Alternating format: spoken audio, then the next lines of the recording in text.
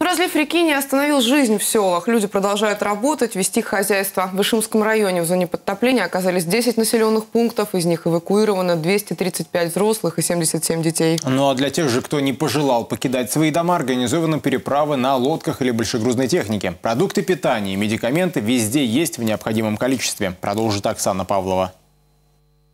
Дорога в школу для старшеклассников из деревни Большой Остров стала небольшим приключением. Шесть человек пересаживаются в спецтранспорт МЧС и едут в Плешково. Ну, не страшно. Это наоборот экстрим. Ну, родители волнуются, переживают, все время перезванивают, когда ну, говорят, когда доедете, перезвоните.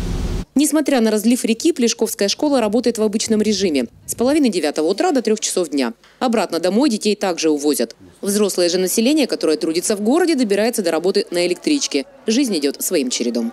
Настроение. Встретили День Победы 9 паники никакой. Э, глава поселения Югли Владимировна также ходит, объясняем мы э, жителям, чтобы не волновались. А для жителей деревни Кошка-Рогая организована речная переправа. Утром и вечером для людей курсирует моторка с сотрудниками МЧС.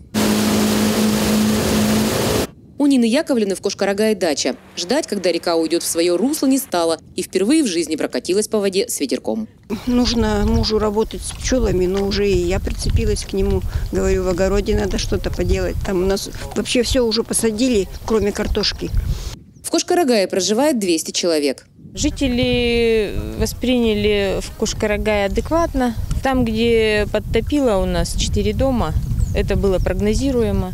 Ольга Яковлевна, как и большинство кашкарагайцев, держит хозяйство, занимается огородом. Говорит, с большой водой мало что изменилось в жизни деревни.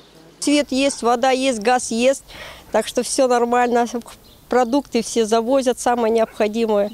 Что еще нужно? Печенье, хлеб, майонез, вот это все у нас есть как бы. Масло, вода питьевая, все это есть, кроме пива. А мы боремся за, за сухой закон, да. В Ишимском районе в зоне подтопления оказались 10 населенных пунктов. Из них эвакуировано 312 человек. Часть э, жителей района переехали к своим родственникам или знакомым, располагаются в тех или иных населенных пунктах. А часть жителей э, находятся в пунктах временного пребывания. Для тех же, кто не пожелал покидать свои дома, организованы переправы на лодках или большегрузной технике. Продукты питания и медикаменты везде есть в необходимом количестве. Жизнь продолжается. Оксана Павлова, Евгений Патько, Тюменское время.